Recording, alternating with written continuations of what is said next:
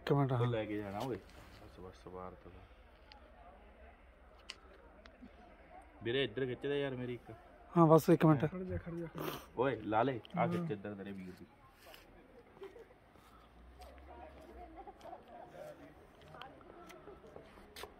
ਦੇਖ।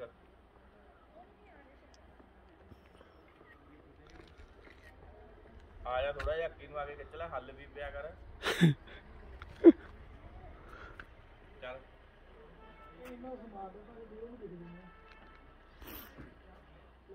ਤੁਰ ਕੇ ਆਉਂਗਾ ਹੁਣ ਤੇ।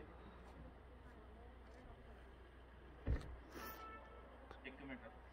ਚੱਲ ਖਿੱਚੀ ਜਾਈ।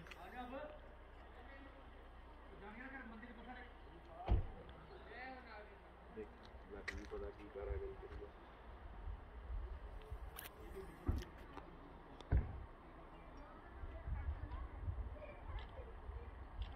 ਠੀਕ ਆ? ਉਹ ਹੋਊਗੀ ਕਾਰਾਗਰੀ ਹੁਣ ਦੁਬਾਰੇ ਆਉ ਜਿਹੜੀਆਂ ਆ ਫੋਟੋਆਂ ਨੇ ਹਨਾ? ਇਹ ਜਿਵੇਂ ਬਾਹਾਂ ਦੇ ਵਿੱਚ ਪਾਉਣਾ ਲੱਗਿਆ ਹੁਣ ਦੁਬਾਰੇ ਕੀਤੀ ਇੱਕ ਨਾ